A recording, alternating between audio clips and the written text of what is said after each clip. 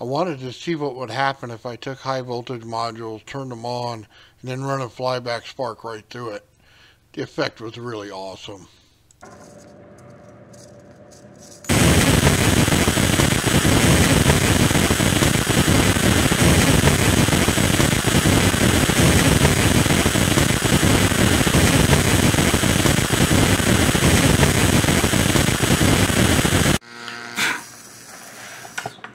I like the fact that this thing started out really calm and then it just hit and then it hit again and it just lit up the whole room man. It looked cool and it sounded just gnarly.